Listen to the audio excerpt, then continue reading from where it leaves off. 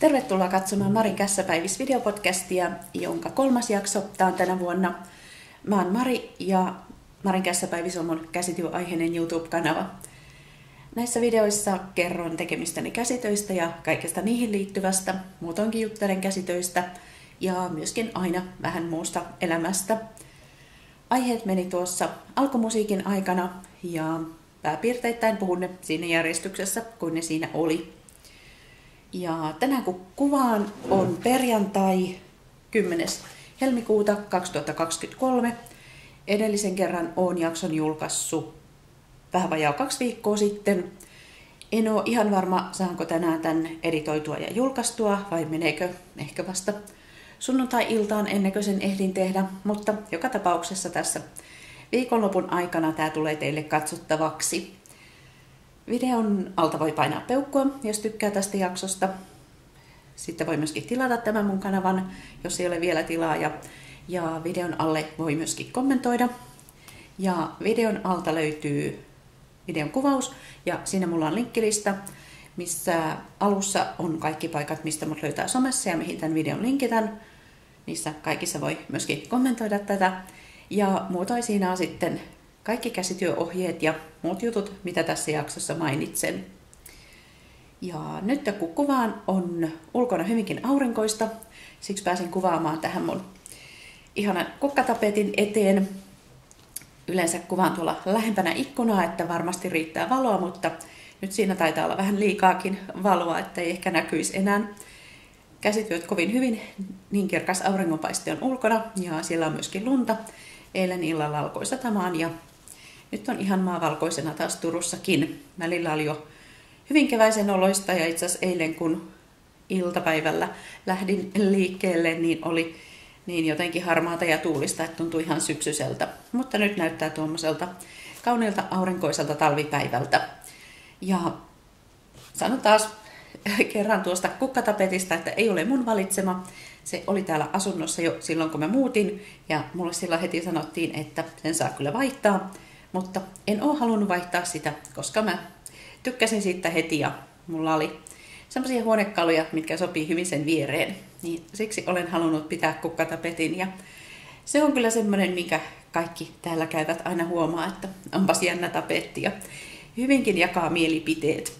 Meillä oli just tuossa viime viikonloppuna ystäviä katsomassa Melody-festivaalin ekaa semifinaalia ja oli sitten yksi, joka ei ole käynyt meillä aikaisemmin ja hän heti totesi, että onpas ihana.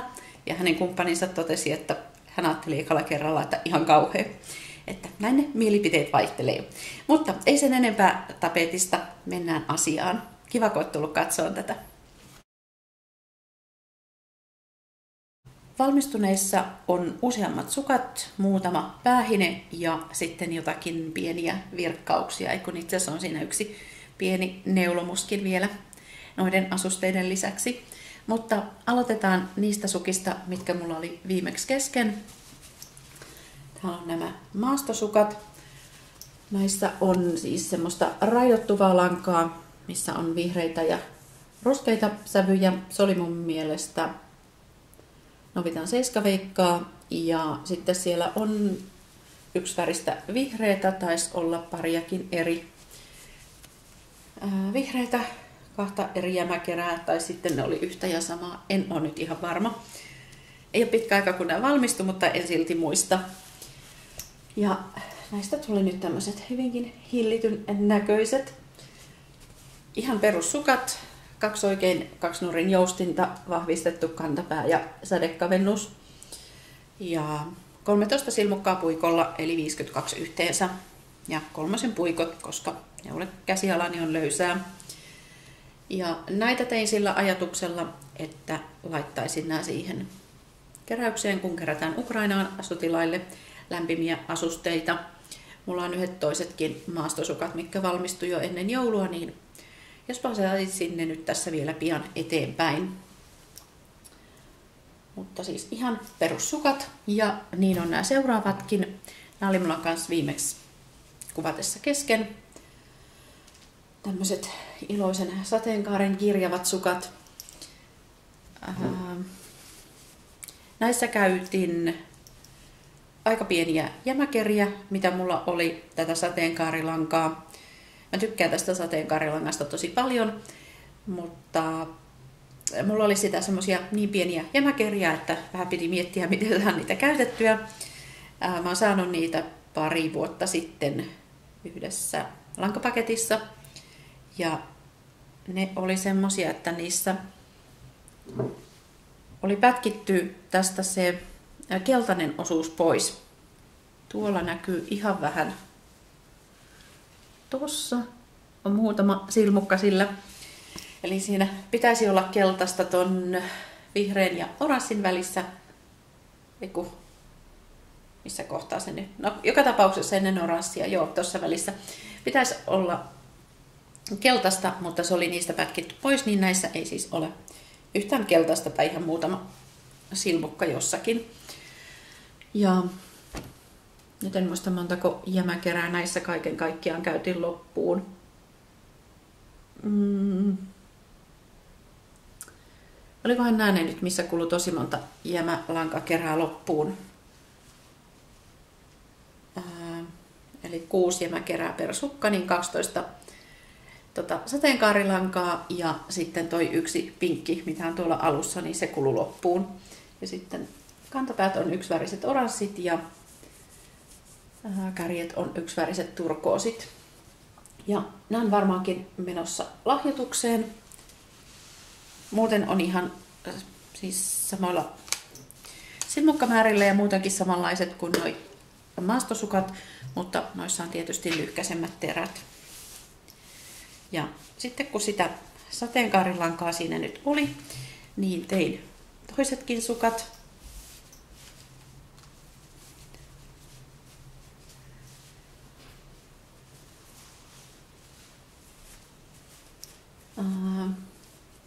Nämä on nyt vähän sitten sillä tavalla hillitymmät, että on niin vähän enemmän tuolla tur, äh, siis pinkkiä tuolla alussa ja kärjessä ja turkoisilla on sitten kantapäät. Ja otas nyt. Näissäkin taitaa olla se paksumpi lanka täällä kantapäissä. Eli muuten on seiskaveikkaa, mutta tää oli... Ah, mikähän tää oli? En nyt muista, mitä tämä turkoosi on, mutta sen pitäisi olla saman vahvusta kuin seiskaveikka, mutta se on selkeästi paksuman tuntusta. Niin mä oon käyttänyt sitä tuolla kantapäissä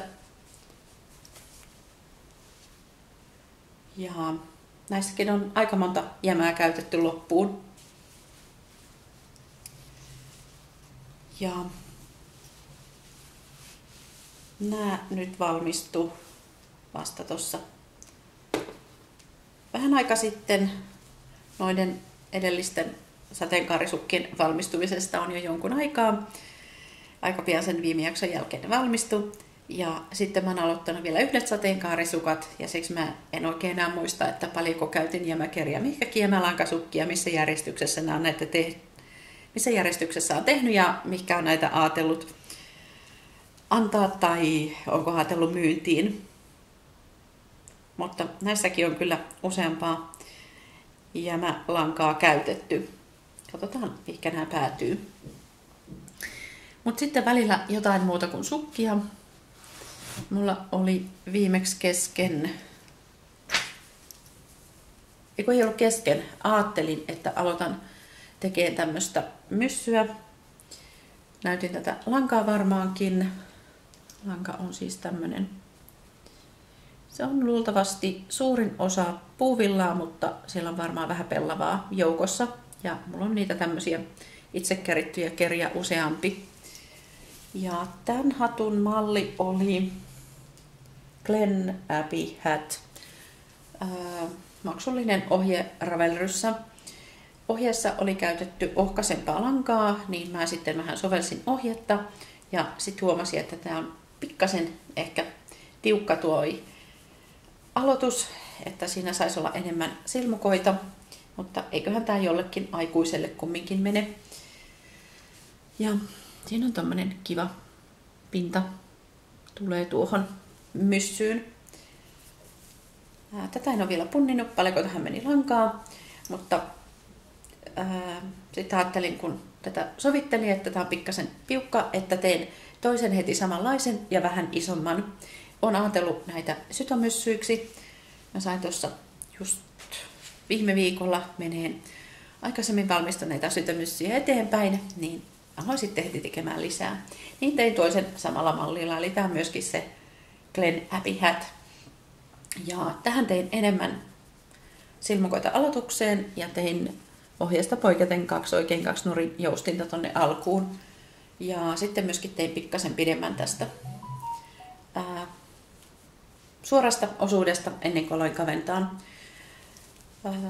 ohjeessa ei nyt mitään sinänsä ihmeellistä ole, ihan perusohje, mutta mä tykkään siitä, että ne kavennuksetkin menee tuolla nätisti. En vitsi näyttää sitä sen tarkemmin, koska mun mielestä oli tosiaan maksullinen ohje, mutta mun mielestä oli kivasti ajateltu, että miten ne kavennukset menee tuolla. Ja nyt pitäisi vielä päätellä tämä ja ei varmaan muuten tarvi höyrytellä, mutta sitten kirjoitan näihin nyt jonkinmoiset tuoteselosteet valmiiksi niin kauan kuin muistan mitä lankaa se on. Ja sitten on se yksi pieni neulamus, mikä on valmistunut. Tein vielä yhden tämmöisen ää, domino-neulaisen tilkun. Ää, mun yksi yhdistyskaveri on kokoamassa tilkkupeittoa ja viime jaksossa näytin jo kahta tilkkoa, mitä olin tehnyt. Noista sateenkaarisukista, kun jäi niitä lankoja, niin käytin niitä tähän. Täällä on vähemmän sitä pinkkiä, mutta kyllä sen nyt sateenkaarilangaksi tunnistaa. Ja tämä on tosiaan tehty dominoneuleena. Ja katsotaan, jos ehdin vielä tekemään yhden tämmöisen tilkun. Huomiseksi pitäisi olla valmiina, koska huomenna nämä lähtee eteenpäin. Mutta tämmöinen yksi neuletilkku. Ja sitten siirrytään virkkauksiin. Näissäkin on samanlaisia, mitä viimeksi on näyttänyt. Viimeksi näytin niitä hiusdonitseja. Lupailin laittaa ohjeen alle, mutta taisin unohtaa laittaa ohjeen. Koitan tällä kertaa muistaa, mutta näihin nyt löytyy ohjeita netistä. Sama periaate näissä on kaikissa. Viimeksi varmaan näytin tätä lankaa, missä on paljetteja, niin virkkasin siitä kolme hiusdonitsia. Lankaa olisi vielä, saisi vaikka kuinka paljon enemmän. Mutta sitten halusin välillä kokeilla jotakin muita ja mm, mulla oli jossain lankapaketissa tullut tämmöisiä niin kuin nauhalankoja, niin ajattelin kokeilla niistä näitä hiusdonitseja. Eli tää on ihan yksiväristä mustaa, se nyt ei sieltä näy, että se on semmoista nauhalankaa. Ja tää on sitten tämmönen vähän punertava ruskea. Näissä pikkasen sovelsin sitä ohjetta, kun ajattelin, että se että sen ei tarvitsisi olla ihan niin tiivistä täällä tämän lenkin ympärillä, niin näissä sitten on ehkä vähän vähemmän tässä lenkin ympärillä virkattu, että tämä viimeinen kerros on sitten enemmän se röyhelöinen, sinne virkkasin suhteessa enemmän silmukoita kuin vaikka näissä. Koska tuntuu, että tämä nauhalanka vaatii vähän eri lailla tilaa, niin siksi sen tänne ihan lenkin ympärille niin paljon virkannut. Mutta tämmöiset hot valmistui. Ja sitten virkkasin taas vähän näitä kestovanulappuja. Viime kesänä neuloin semmoista Lidlin puuvilla langasta kaksi huivia. Mulla oli kaksi keräistä lankaa ja molemmista jäi vähän. Niin siitä loppulangasta, toisesta niistä virkkasin nyt näitä kestovanulappuja. Ja se oli vähän semmoinen raidottuva huivi tai lanka, niin nämä on nyt kaikki sitten erilaisia. Nyt me tiputin yhden. No, ja toisen. Mutta tuossa esimerkiksi on hyvin vaalea ja sitten tämä on taas tämmöinen aika punainen. Ja näitä on nyt kaiken kaikkiaan 1, 2, 3, 4, 5, 6, 7, 8, 9. Ää, täytyy etsiä se toinen jäämälanka ja tehdä siitäkin, että jos siitä tulisi saman verran, niin sitten saisi yhdistettyä, että olisi yhteensä 18, niin aina 6 ja 6 ja 6 tehtyä semmoisia settejä. Ja näiden tekemisessä tämä mun minivaaka, minkä ostin tuolta Tampereen kädentaidot messulta syksyllä, niin tämä on kyllä ollut niin ehdoton ja niin suuri apu, kun viimeistä kun tein, mä ajattelin, että siitä on niin pieni lanka nyttyrä jäljellä, että se ei millään riitä tämmöiseen yhteen, mutta punnitsin tämmöisen yhden ja totesin, että se lanka riittää just, että sitä ei jää niin ehkä ollenkaan, mutta että se pitäisi just riittää siihen. Ja itse asiassa on tämä, sitä lankaa jäi tämmöinen 30 senttiä jäljelle. Mutta tämä on ollut erittäin hyvä ostos. Mun yksi ystävä, joka kyllä tekee käsitöitä, niin vähän ihmetteli, että mihin sä tarvit tuommoista vaakaa, mutta tämmöisissä kun haluaa käyttää jämälangat mahdollisimman tarkkaan, niin siinä se on kyllä hyvä. Ja sitten, että ei tarvi niin kuin, purkaa jo aloitettua työtä, kun lanka loppuu kesken, kun sen voi hyvinkin tarkkaan punnita, että tuleeko se lanka riittämään. Mutta olikohan siinä nyt mun valmistuneet? Joo, oli. Mulla on näytettävänä vain yksi keskeneräinen ja se on taas tätä sateenkaarilankaa. Öö, eilen aloittaa nämä sukat. Oli siinä illalla hyvin aikaa neuloa, niin ensimmäinen sukka valmistui jo. Ja tässä on nyt käytetty sitten tätä sateenkaarilankaa ihan kerältä, koska mulla oli yksi semmoinen lähestäyskerä sitä jäljellä. Ja näitä ainakin ajattelin myyntiin. Tuolla on käytetty yksi pinkki jämä loppuun. Mä jaoin sen pinkin jämälangan ja neulon sen tulla alussa.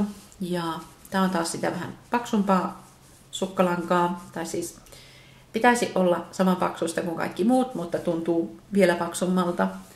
Ja sitten kun haluaa tehdä ihan samalla lailla raidottuvat, niin käytin tuolla kärjessä lankaa juuri sen verran, että saan aloitettua toisen sukan samasta kohtaa, kun tämä on tämä ekaan aloitettu.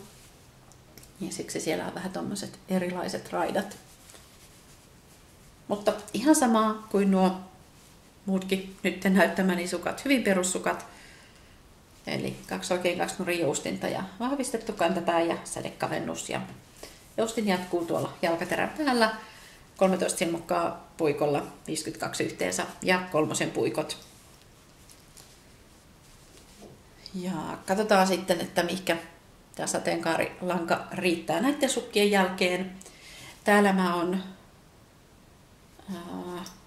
terässä vähän niin kuin jatkanut noita pinkkejä raitoja. Siellä on yksivärisellä pinkillä tehty vähän lisää. Se erottuu sieltä, mutta ei mun mielestä haittaa.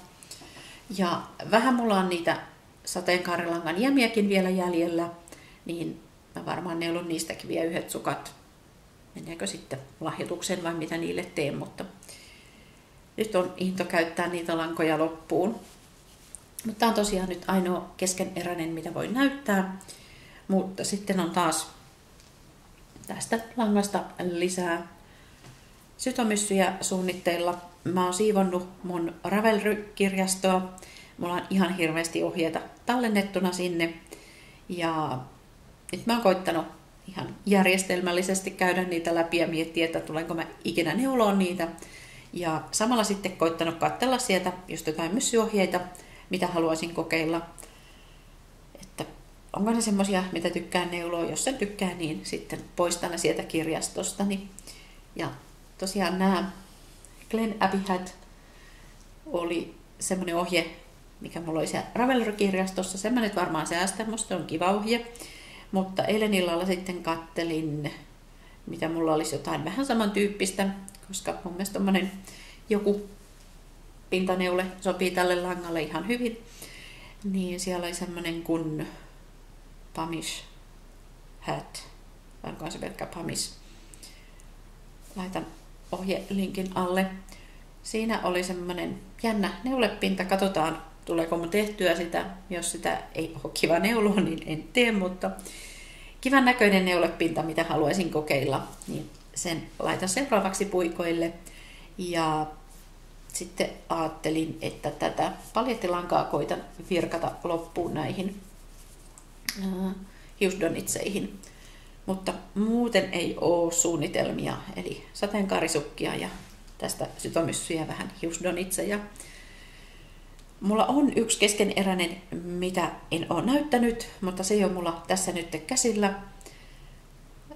Aloitin taas heti joulun jälkeen semmoisen neuleen, mikä mun mielestä on jouluneule, mutta voi sitä nyt ehkä joskus muussakin käyttää. Mutta se on punainen ja siinä on kimalletta, niin mun mielestä se on hyvin joulusen näköinen. Ja katsotaan, koska sitä saa näytettyä, mutta jos se nyt onnistuu, niin pitkästä aikaa teen itselleni jotain vaatteeksi laskettavaa. Mä en ole pitkään aikaan tehnyt itselleni mitään muuta kuin asusteita, mutta sitä ehkä näytän sitten ja ainakin jos mulla meinaa lanka loppua kesken, niin kyselen, että jos jollain sattuisi olemaan semmoista hyvin marinoitunutta novitan lankaa, se on ehkä jostain viime vuosituhannelta jo. Mutta joo, viikonloppuna on ihan hyvin neule aikaa, niin katsotaan, tuleeko jotain muuta vielä aloitettua näiden suunnitelmien lisäksi. Katsotaan sitten tammikuun lanka- ja käsityötilastoja. Just huomasin, että mä en ole tänne bujooni vielä merkinnyt niitä, mutta ne on mulla tässä kirjoitettuna ylös, niin saan täältä luettua. Ää, mä en nyt sitten laskenut, että montako käsityötä mulla kaiken kaikkiaan valmistui tammikuun aikana, koska on paljon semmoisia, että lasken kone yhdeksi käsityöksi ja jos ei vielä ole niin kuin valmis käsityö, että jos on joku yksittäinen peittotilkko, niin semmoista en voi laskea käsityöksi, mutta sitten vaikka noi kestovanulaput, että pitäisikö ne laskea setteinä valmistuneiksi käsityö, käsitöiksi vai yksinään.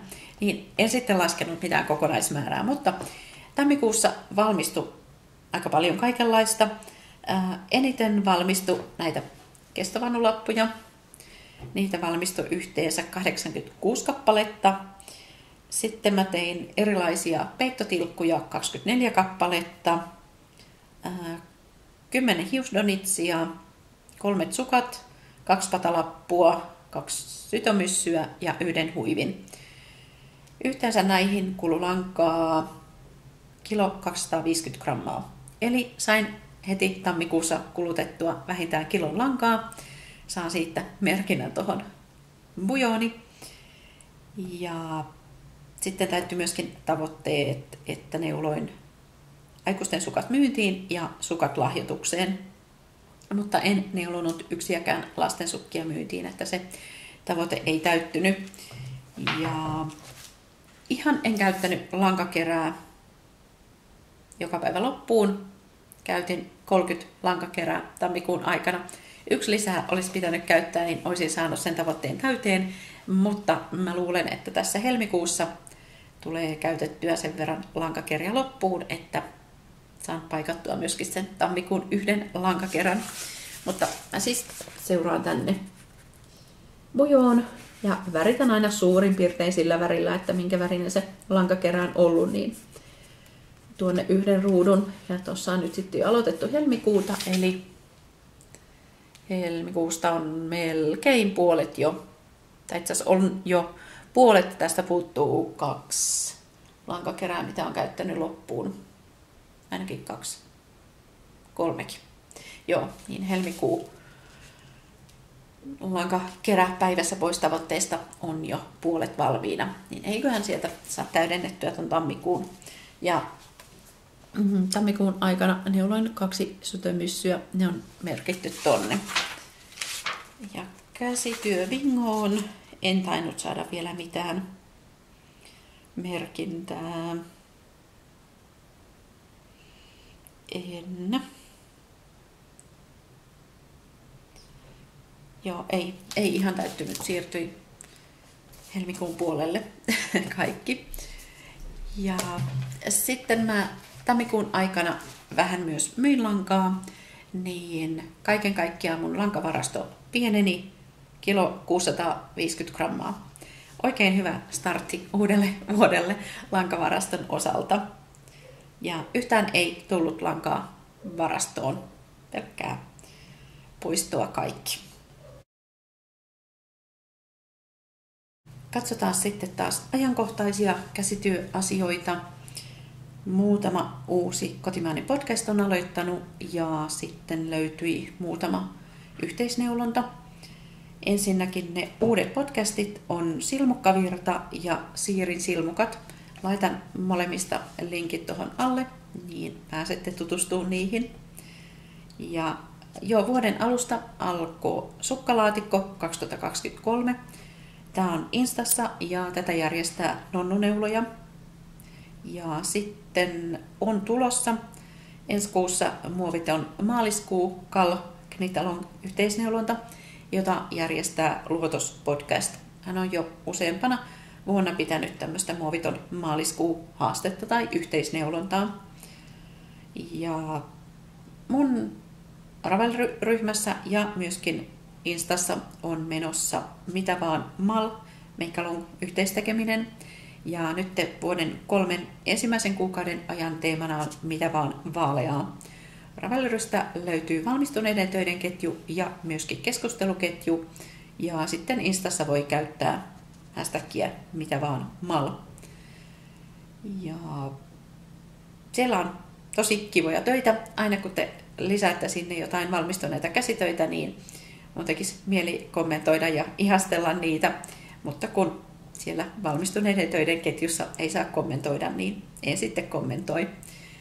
Ja sitten mulla on menossa langan ostolakkokisailu. Siihenkin saa edelleen liittyä mukaan, jos ei ole tänä vuonna ostanut lankaa. Sekin löytyy sieltä mun Ravel-ryhmästä, eli Marin kässäpäivisryhmästä. Ja muita ajankohtaisia asioita ei sitten taida ollakaan. Musta tuntuu, että on tänään koittanut kauhean vauhdikkaasti kertoa näitä asioita.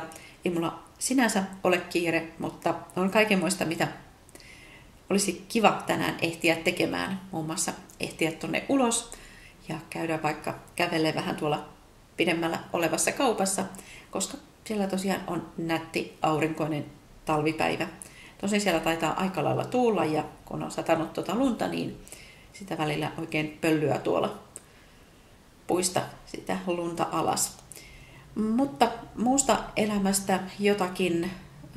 Viime jaksossa kerroin, että olen nyt alkuvuodesta ollut töissä henkilökohtaisena avustajana ja sitä on nyt tässä ensi viikolla enemmänkin tiedossa. Ne on hyvin vaihtelevasti ollut, jonakin viikkoina mulla on ollut vain yksi työvuoro, niin kuin tällä viikolla, ja välillä on sitten useampia työvuoroja, niin kuin ensi viikolla. Mutta tällä viikolla on myöskin sitten ollut parina päivänä meidän ompelimossa. Varsinaisesti se oli mulla yhtenä päivänä auki, mutta oli siellä toisenakin päivänä tekemässä töitä ja vähän jotain omiakin taas saada ommeltua, mutta ihan kauheasti en niitä omia saanut ommeltua, että sen verran oli ihan niitä asiakastöitä siinä tehtävänä. Mutta muuten on sitten Euroviisukausi varsinaisesti alkanut, koska viikko sitten lauantaina äh, juhlittiin Melodifestivalin alkua ja Norjan finaalia ja Espanjan finaalia meidän ystävien kanssa. Meillä oli muutamia ystäviä kylässä ja syötiin hyvin ja katseltiin viisuohjelmia ja oli kiva ilta. Oli kiva nähdä ystäviä ja saatiin yksi uusi ihminen tutustutettua viisuiluun ja joo, kiva pitkästä aikaa katsella ystävien kanssa viisuja. Viime keväänäkin kyllä katseltiin ystävien kanssa viisuja, ainakin sitten se varsinainen Euroviisufinaali, mutta myös jotain niitä karsintoja siinä, mutta ei ollut yleensä sitten kuin ihan yksi, kaksi ihmistä meillä kylässä, että nyt oli vähän useampia. Oli kiva ilta ja jatkuu sitten huomenna taas viisuilut mm, vähän pienemmällä porukalla, mutta viisuillaan ystävien kanssa ja sitä tosiaan tässä riittää moneksi viikonlopuksi. Ruotsin Melodifestivaalin eli heidän Euroviisukarsintansa kestää kaiken kaikkiaan kuusi viikkoa. Ensin on neljä semifinaalia, josta aina jokaisesta menee kaksi kilpailijaa suoraan finaaliin ja kaksi kilpailijaa menee Andra Chanseniin, eli toinen mahdollisuus, mistä sitten vielä niistä kahdeksasta pääsee neljä siihen finaaliin. Eli kaiken kaikkiaan finaalissa on sitten 12 kilpailijaa. Jos nyt oikein muistan, pikkasen ehkä vuosien varrella vaihdellut, että miten sieltä Andrasta pääsee finaaliin. Mutta kaiken kaikkiaan tämä siis kestää kuusi viikkoa, niin kuusi viikkoa on tätä Euroviisu iloa tiedossa. Ja parin viikon päästä on sitten Suomen OMK-finaali ja silloin varmaan taas vähän enemmän kutsutaan ihmisiä kylään. Me ollaan ensinnäkin menossa yhden meidän ystäväpariskunnan kanssa katsoa se UMK-kenraaliharjoitus silloin iltapäivällä ja sitten ehditään sopivasti kotiin valmisteleen illan UMK-finaalia ja katsellaan sitä sitten ystävien kanssa. Mutta ah, mun mielestä oli niin ihanaa, kun pääsi aloittaa viisukauden ystävien kanssa. Se ei varmaan jäänyt kenellekään epäselväksi, että kuinka ihanaa oli aloittaa viisukausi ja kuinka innoissani mä olin, että Melodifestivaalenissa oli heti ekassa semifinaalissa yksi mun suursuosikki ja hän meni suoraan jatkoon. Ja huomisessa Mello Semissä on myöskin toinen mun suuri suosikki ja tämä aina fanitan, niin toivottavasti hekin menevät sieltä jatkoon sitten, että saan jännittää heidän puolesta tässä vielä monta viikkoa. Ähm. Viimeksi puhuin siitäkin, että mulla on ehkä alkanut uusi harrastus, eli mä oon käynyt muutaman kerran tuossa läheisessä uimahallissa vesijumpassa. Ja toistaiseksi se nyt on ollut semmoinen, että mä oon ehkä kerran viikossa siellä käynyt, mutta tänään, jos vaan ennätän, niin on menossa. Niin sitten tulisi toinen kerta jo tähän viikkoon vesijumppaa. Viimeksi olin keskiviikkona ja silloin siellä olikin tosi tyhjää. Mä olin ainoa jumppa ja kun mä menin sinne, sitten siihen tuli yksi toinen. Katsotaan miten tänään sitten, jos vaan ennätän sinne. Tänään uimahalli on vähän vähemmän aikaa auki, niin katsotaan, että kuinka paljon siellä sitten on ihmisiä perjantaisin. Ja huomenna tulee yksi mun yhdistysystäväni tänne meille. Kootaan tilkkupeittoja yhdessä, tai ainakin yksi tilkkupeitto voi olla, että niitä tilkkuja on sen verran, että kootaan useampikin, mutta nämä, nämä tilkut, mitä on neulonut, on menossa siihen. Ja mä katson, että jos tänä iltana vielä neulon yhden tilkun, tai sitten mä voin jättää sen huomiseen, että jos näyttää siltä, että jää ihan jostain yhdestä tilkusta kiinni, niin neulo siinä päivällä sitten, koska paksusta langasta tämä domino-tilkku, vaikka tämä on 20 kertaa 20 senttiä, niin valmistuu aika äkkiä.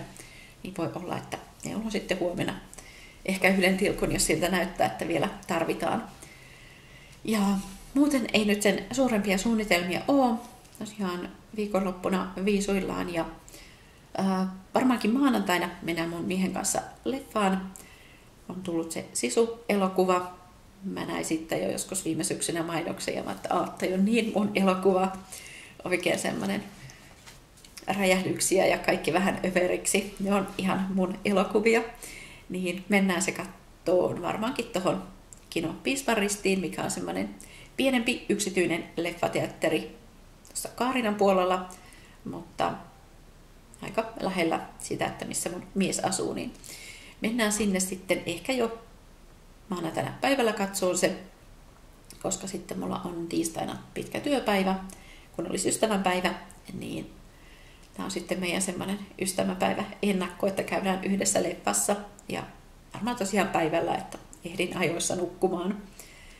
Ja ensi viikoksi on tosiaan useampi työvuoro, mutta ensi viikonloppukin mulla on vapaa, niin saat silloin taas viisuilla. Ja eipä kai muuta. Nyt ei ole mitään ihmeellisempää mielessä. Kiva, kun olet katsonut tämän. Toivottavasti olet viihtynyt tämän parissa. Toivottavasti en puhunut ihan kauhean sekavasti. Mulla oli kyllä muistiinpanot, mutta tuntuu, että on höpötellyt ja toisaalta puhunut kauhean vauhdikkaasti, niin katsotaan, mitä tästä tuli. Jätä ihmeessä kommenttia jotakin kautta ja oikein ihania talvipäiviä ja oikein ihanaa kevään odotusta. Nähdään taas. Heippa!